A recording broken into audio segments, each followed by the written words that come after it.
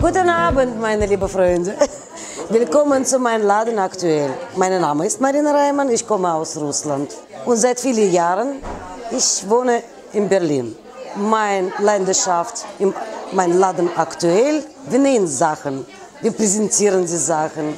Und ich möchte immer so gerne, dass es praktisch wird, tragbar wird, viel weniger Belastung am Sachen wird. Es muss auch schön sein, weiblich, sexy. Es muss bequem sein. Ja klar, ich habe die Sache gelernt. Ich habe Diplome und mein Laden ist nicht nur als Atelier, es ist auch ein Club. Wir treffen uns hier mit Frauen, wir, wir reden, wir stellen uns mal vor, was wir tragen, wir fassen Stoffe ein, wir denken, was getragen wird. Und dann es geht durch. Und natürlich gibt es Kollektionen. Wir machen viele Kollektionen. Einmal, ganz überraschend für mich, ich habe einen Brief bekommen aus China. Ich bin eingeladen nach China zu Fashion Week. China hat mir so viele Emotionen gebracht. Oh mein Gott, ich habe nie gedacht, dass es so schön dort ist. Und dann dachte ich, wieso habe ich so kurze Zeit für mich genommen wegen meiner Beschäftigung?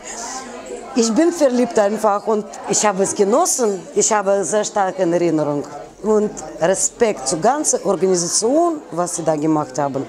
Ich habe noch nie in Berlin sowas gesehen. Habe. Das war Dankeschön. Shishi. ich möchte euch Honk vorstellen. Ja. Einer meiner sehr guten Bekannten. Vor einem halben Jahr, wir haben riskiert, zusammen was anzufangen. Ich genieße, ich genieße meine Bekanntschaft mit Honk. Ja. Attraktiver Mensch, sympathischer Mensch. Ich liebe Chinesen. Oh, Sowieso. Das habe ich immer gesagt. Ich habe meine Pläne, auch in äh, meine Textilien das alles integrieren. Ich mache gerade sehr viele Skizzen und äh, also Proben, ja. Ich möchte gerne so in 20, äh, Richtung 20er Jahre 30er Jahre Perlen und so Textilien beschmucken. Ja, ich habe noch mehrere Pläne. Und wenn das funktioniert, ich denke, viele Leute freuen sich über die Sache.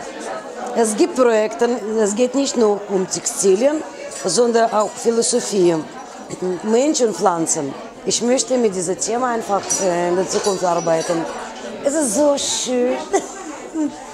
Mein Traum ist wirklich jetzt, ich möchte so gerne nach China kommen. Und wenn gibt es so eine Möglichkeit, genau das erleben, was ich schon mal im Harbin hatte, das war gut.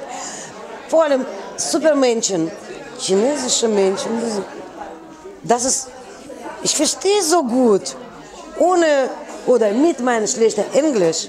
Wir haben uns absolut toll verstanden und so viele Chinesen sprechen auch Russisch. Das war mir eine Überraschung gewesen. Alles, was mit China zu tun gibt, äh, interessiert mich. Ganze Kultur. Zum Beispiel am 5. Februar wird neues Jahr und äh, chinesisches neues Jahr. Ich plane hier eine Party, diese Silvester zu feiern bei mir.